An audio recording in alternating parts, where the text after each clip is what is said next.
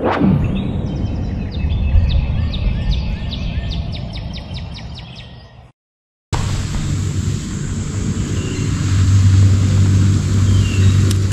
do you see? Are you hunting? Did you find anything? What's in there?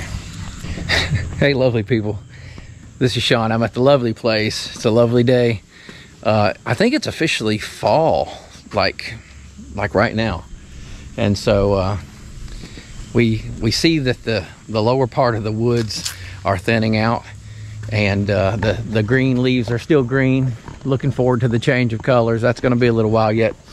But uh, speaking of hunting, uh, Luna, our baby doll, she was down there checking out this little pile. She's always on the hunt. Bambi, she's always up to no good. What are you posing for? What's that all about?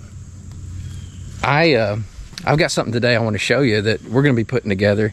That's uh, you know the kind of the lead up to potential deer hunting. And so what we've got here is one of those cheap deer feeders. Uh, matter of fact, I got that thing on clearance for 66 bucks. Uh, maybe a year or two ago and I have yet to get it put together so we're gonna put it together today this is the Wildgame quick set. 225 digital poly barrel fin feeder kit. I started to say fender kit. It's a feeder kit y'all. And uh, so it holds 225 pounds. 15 minute setup. Let's see if I can accomplish that. One to four feed times per what are you looking at? Hey. You think I'm talking to you? Huh? One to four feed times per day. Oh you heard me say feed didn't you you think it's feeding time. That's what we want to feed right there. And we want to bring them in so that we can get a lot of good footage on our keen camera that we've got down at the low oak trail. So let's get this thing put together and let's see if we can uh, kind of stir up some attention and get some deer down there. There's already a bunch down there. My keen camera i'll show it to you um, i took it home i took it off and charged it. Actually we took four of them home. This is the late summer charge that i've told y'all about.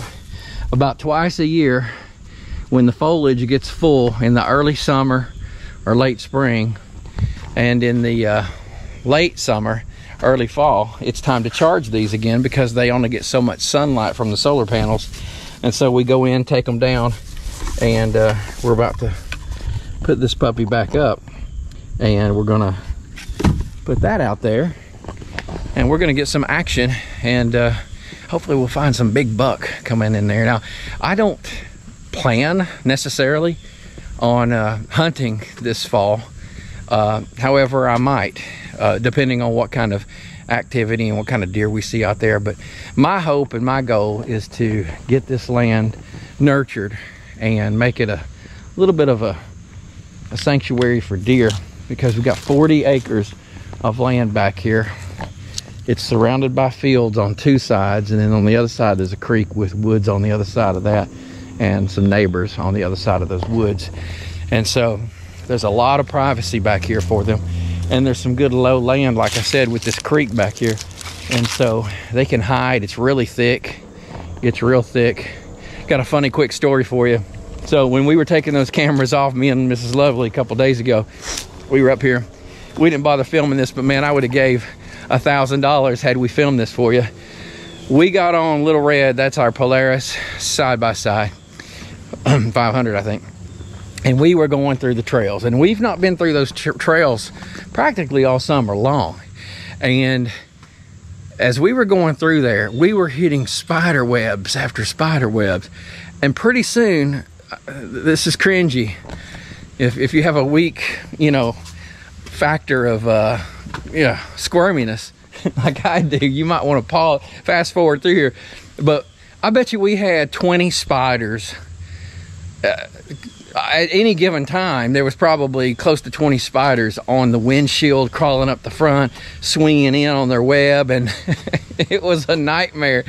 Uh, Mrs. Lovely said, I feel like I'm on a, a, ride at Universal Studios, one of those scary rides, or living in Jumanji land.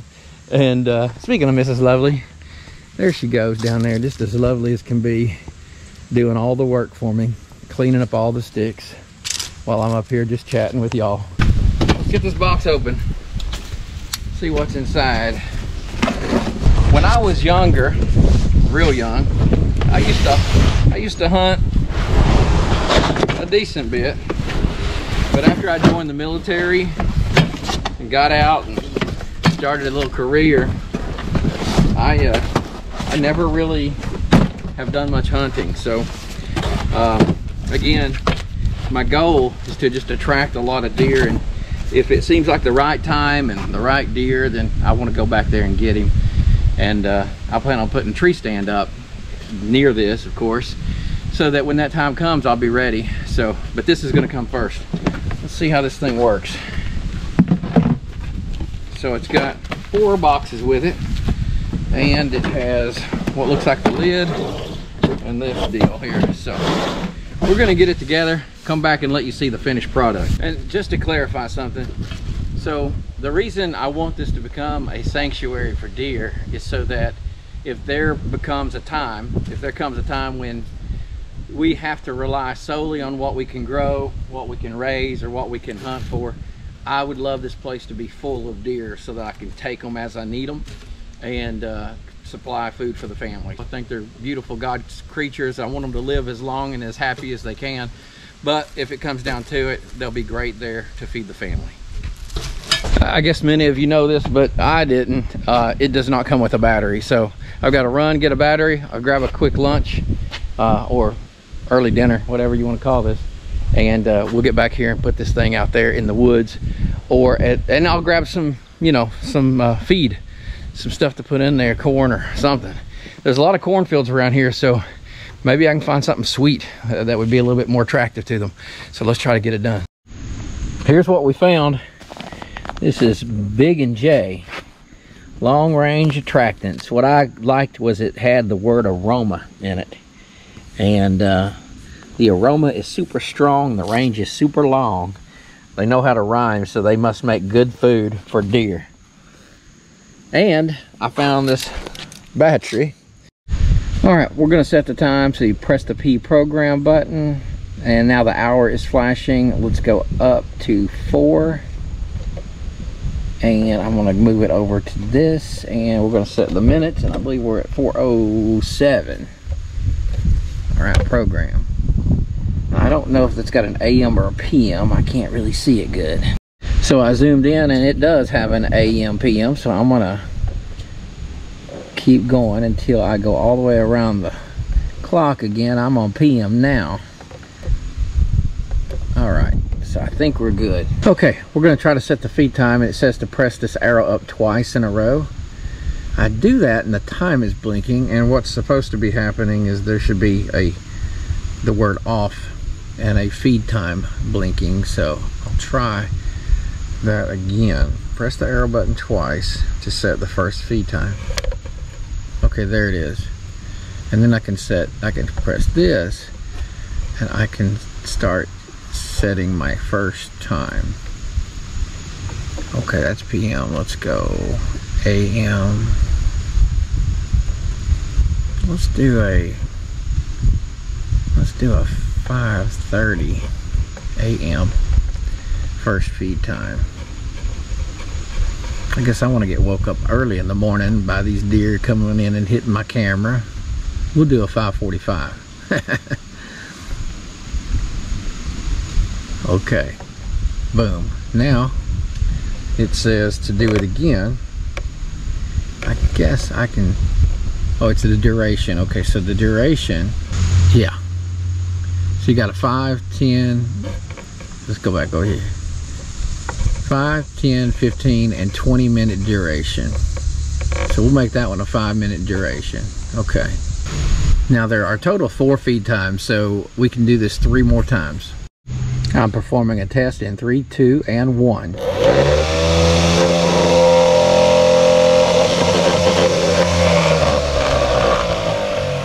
Test was successful. Well, I'll set the rest of the feed times uh, when you don't have to watch and we'll get all the feed times on here. But yeah, this is cool. Here's the test one more time. It's eight, seven, six. It does a countdown. I want you to get those fingers out of the way. Two, one, and test.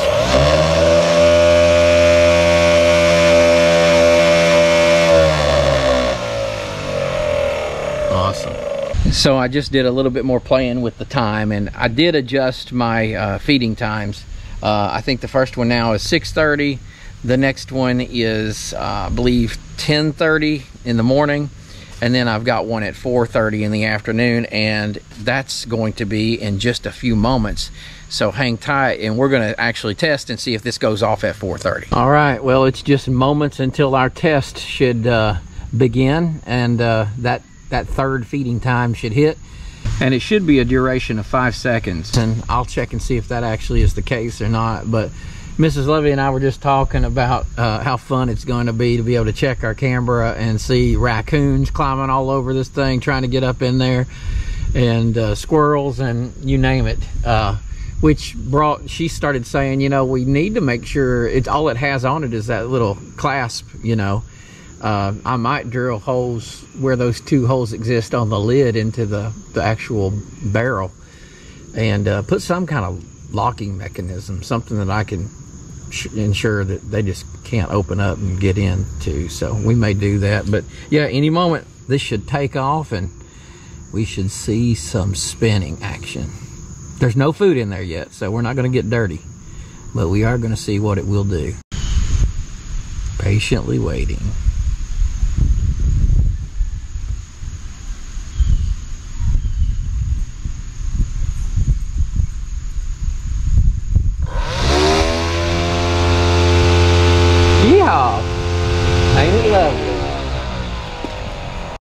I was just telling Mrs. Lovely it's time to go put this stuff out there. And what did you say? time for the Universal. Time for the Universal Studios ride where you have all these spiders jumping out at you and getting in your face. It's uh it, it, it's getting dark in them woods too. I'm telling you. We should have got this done earlier. We spent too much time out running around in town. But uh, sun's still up. We still got plenty of time and that's the west so we'll be getting some sun coming in from that side. So yeah here comes the fun. Let's hope we don't encounter a thousand spiders like we did last time going out there in the woods. But uh, yeah we're going to get the feeder out there and get these two cameras in the woods. Then we'll get the other cameras afterwards. Let's do it. All right we got this set up. We got baby doll. We got bambi. We got some BIG&J feed i think b something we got the feeder, the ladder, the legs, and most importantly, we got spider killer. Yes. Wish us luck.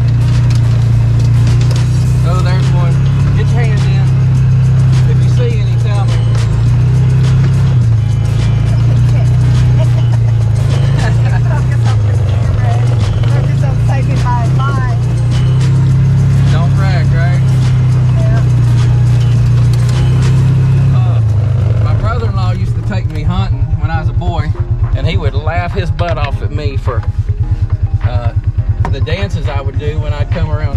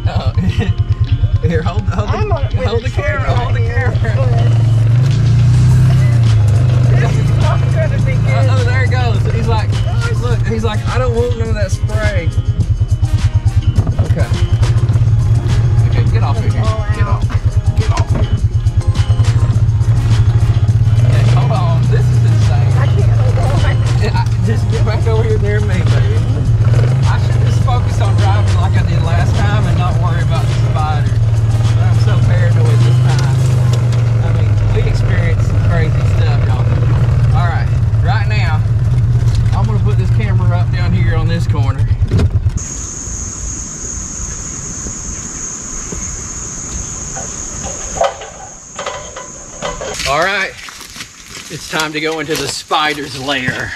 Let's let's go on down through there. This was the bad area last time. If you see them, tell me.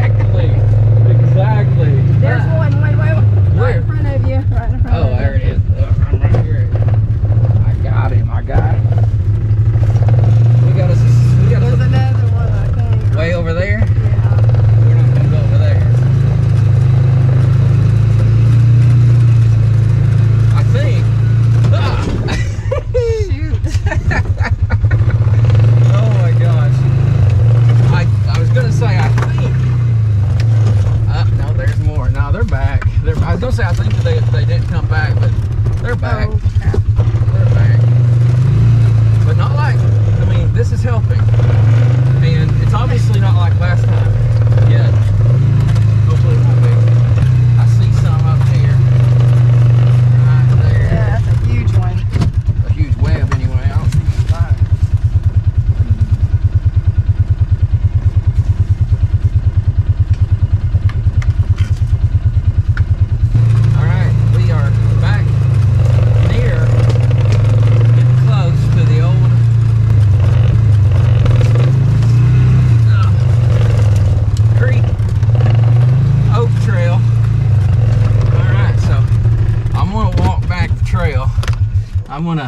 my stick first to clear my way.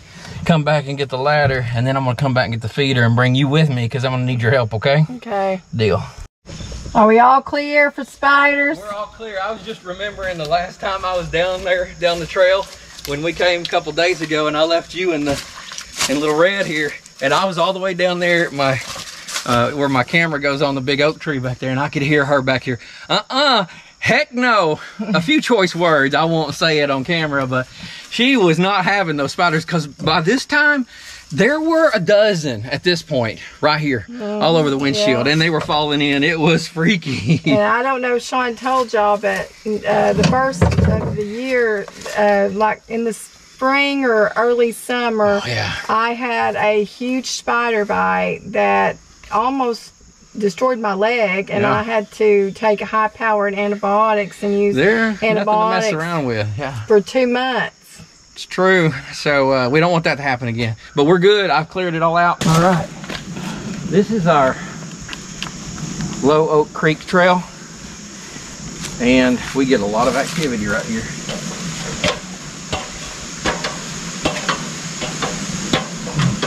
right here i've got uh, trail crossings. They go it goes that way it goes that way and it cuts that way all the way to, to the creek. So there's tons of activity. If you look back at our keen video when i was installing these keens at the very end of that video got some cool buck footage and a lot of doe right here.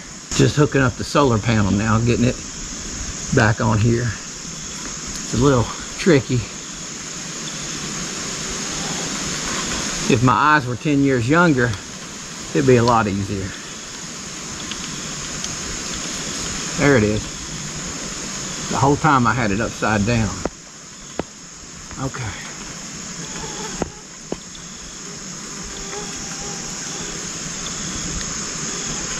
All right that'll do it. And you guys who've not been you know watching and haven't seen the keen uh, cameras or the Reolink cameras they will pan left to right. They will tilt up and down.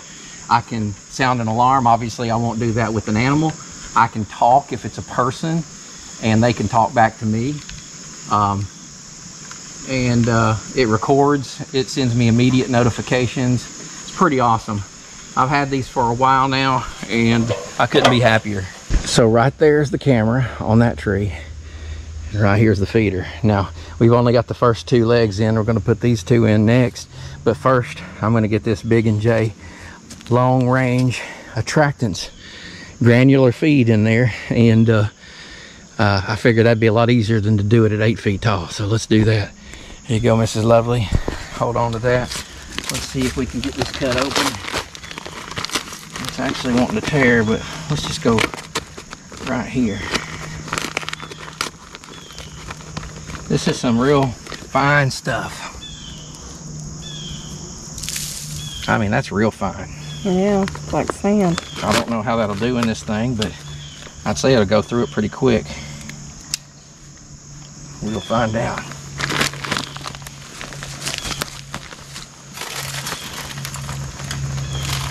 Smells like seasoning.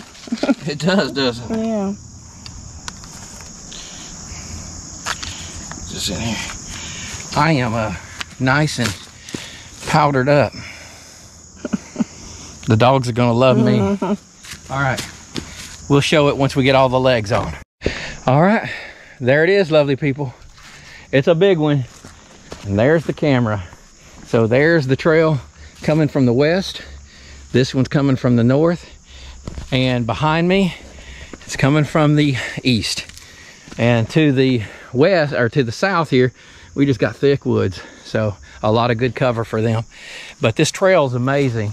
Uh, a lot of overflow. When the when it's really flooding and the creek overflows there's a low spot that brings it right down through here and that's why this path is so good. This is not my doing.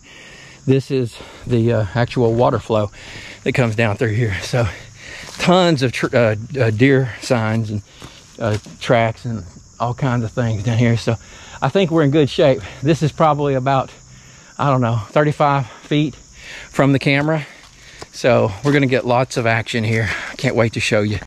So yeah, this is the, the trail going back to Little Red up here. But look at this huge, huge oak tree. But yeah, that looks good back there. Well, lovely people, we're gonna go hang two more cameras. But for you, we're gonna call it a, we're gonna call it a night for you. And uh, I just wanna thank you for coming If this is your first time here, we are in the process of creating a 60 acre off grid homestead, completely self sufficient.